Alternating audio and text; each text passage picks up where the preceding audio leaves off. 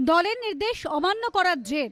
দল থেকে বহিষ্কৃত উত্তর দিনাজপুরের দশ তৃণমূল নেতা। বহিষ্কৃতদের মধ্যে রয়েছেন ইসলামপুরের বিদায়ী পুর প্রশাসকও।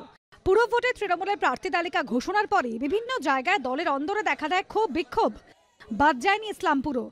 এবার বিদায়ী প্রশাসক মানিক দত্তকে ষোলো নম্বর ওয়ার্ডে প্রার্থী করেছিল তৃণমূল। কিন্তু ওয়ার্ড পছন্দ না হওয়ায় এগারো নম্বর ওয়ার্ডে নির্দল হিসেবে মনোনয়ন দেন তিনি। এরপরেই বিদায়ী প্রশাসকের বিরুদ্ধে ব্যবস্থা নিল শাসক দলের জেলা নেতৃত্ব।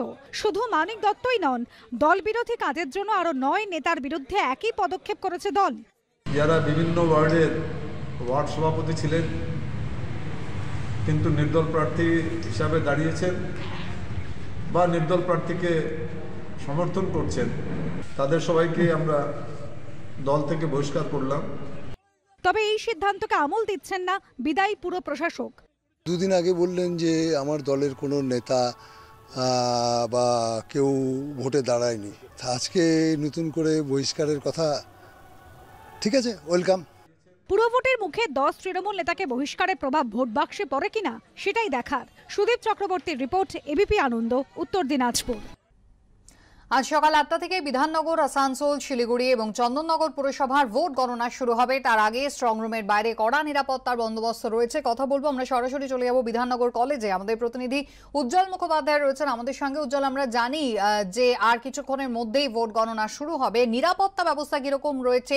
সিসিটিভি বন্দোবস্ত রয়েছে। আমরা জানি আজকে যখন ভোট গণনা হবে, কি ধরনের প্রস্তুতি চোখে পড়ছে?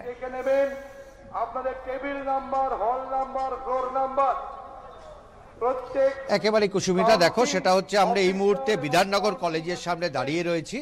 এখানেই কিন্তু একচল্লিশটা যে সিট রয়েছে, তার কাউন্টিং হবে। একই জায়গায় একটা ক্যাম্পাসের মধ্যেই গোটাটা করা হচ্ছে।